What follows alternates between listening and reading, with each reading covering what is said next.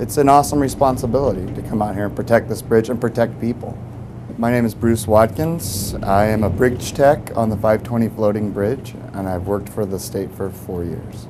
We have three guys that are on call at all times for the 520 floating bridge. So we would hopefully be out here before the windstorm hit. It definitely, throughout the storm, will send waves all the way across four lanes of traffic. So we would, you know, come and respond to the shop, get in our truck and head out to the bridge. We can then come back over here to the tower, check our barometer, check the weather, look at this panel right here to make sure that we don't have any alarms on that.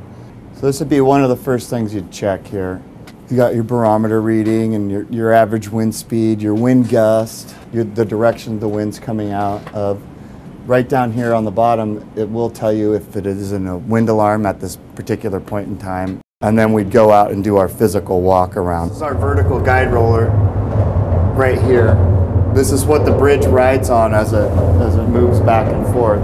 So this is one of the main things we would come down to check if we were in a, a storm watch situation.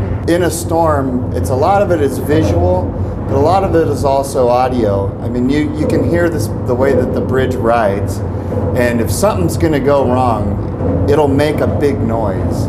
And that's that's will be one of your main clues when you're out here on storm watch is that something just doesn't sound right or feel right. We do have automatic pumps down below here because a lot of uh, water will come through here during a storm. Then hopefully we'd have IRT or State Patrol to help us, and we would shut the bridge off at both ends, swing the barriers at both ends, and make sure that there was no traffic on the bridge at all. Drop the gates, raise the decks, and then separate the bridge. We don't want to lose it. It's several million dollar piece of equipment, which is a you know a main arterial in our state. So we need to protect it as well as we can. It's cement that floats on water. Pretty awesome, actually.